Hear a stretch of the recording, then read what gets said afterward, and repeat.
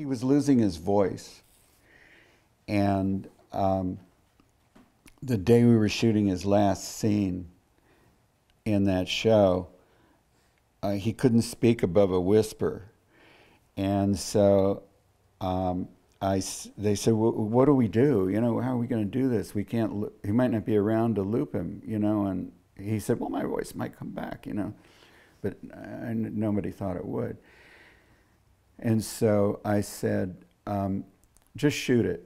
So we shot it. And so then in the looping, I said, don't worry about it, Jerry. Just, you know, it, it'll be fine.